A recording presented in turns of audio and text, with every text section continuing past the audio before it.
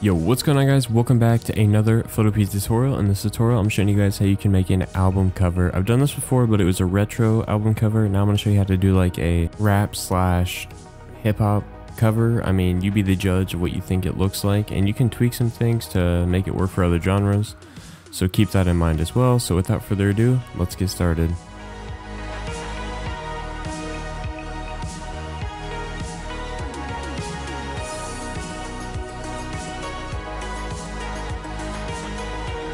So once you're at photopea.com, you'll see there's a new project button. Go ahead and click on that. And for the width, we're going to type in 1600 by 1600. This is just going to make a big square.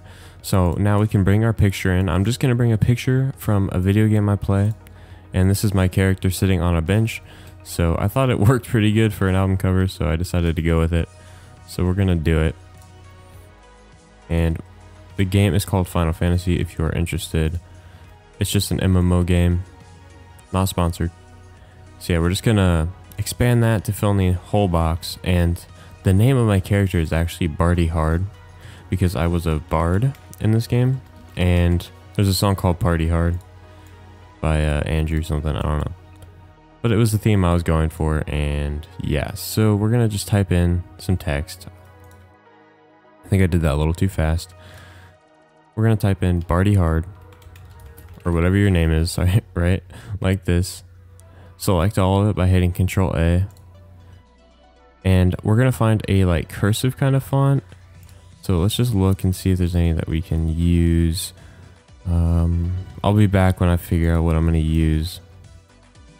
Alright, so I think I'm going to go with this one called Bear Paw. It seems pretty grungy, which is what this already looks like. So I'm just going to make that bigger by going up here and just typing in 300 or you could just manually use this little slider but it only goes to 150 so I'm gonna type in 300 and yeah move that to the center.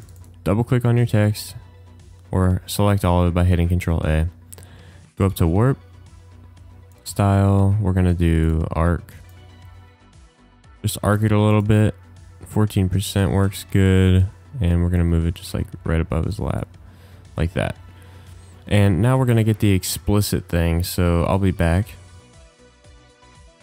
So this is the thing I was talking about. This will be down in the description below if you need it. So we're just going to copy that, bring it back into Photopea and hit Control Alt T so we can resize it.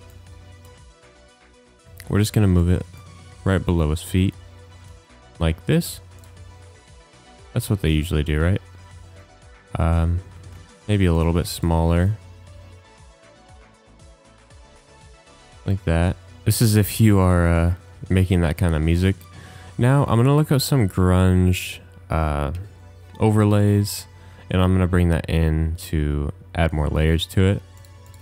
Yeah, so I looked up grunge, and you can see there's a ton of these like grunge options that we can go with. Um, I think I'm gonna go with something like this.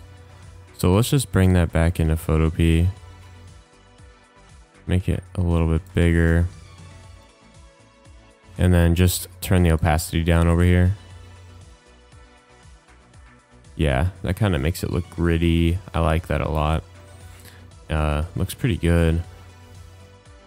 And if your picture's colored, what you got to do is just click on your background, go up to image, adjustments, hue and saturation, and just take the saturation out of it completely. That'll make it black and white. Um, that's why mine's already black and white because I already did that. I forgot to mention that. So you can see the grunge is like over that now, but if we don't want that, we can just move that above the grunge layer. But it's really up to you. I accidentally just saved two PSDs somehow. I don't know. Anyways, that's pretty simple and uh, it looks pretty good as well. So let's turn the opacity down a little more. And yeah, I think that's all there is to it. So I hope you guys enjoyed this video. If you did, leave a like and subscribe, and I'll see you guys in the next video. Peace.